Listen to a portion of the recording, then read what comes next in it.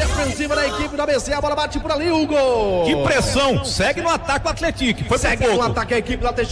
Rafael Conceição voltou, deu ali dentro da área, vai chegando, tá nascendo o gol, bateu pro gol e gol. É gol, é gol, é gol. Gol, gol, Atletique! Eu falei, ele estava infernizando do lado direito, do lado esquerdo, no meio, na zaga, no centro. Ele faz o gol depois de uma pressão da equipe do Atletique. Rafael Conceição, camisa número 16. Aos 47 do segundo tempo, ele foi para cima do Eric Varão. Aí deu voltando, encontrou o passe do Fumaça. Fumaça, ó, colocou no meio de dois, no meio do Wesley Santos, no meio do Varão. E ele chegou tranquilo para meter bola pro fundo das redes. Cancela o empate abecedista momentaneamente. Agora o Atlético tem um. ABC tem zero, Hugo Fernandes. É a, a pressão, a contundência no ataque do Atlético, né?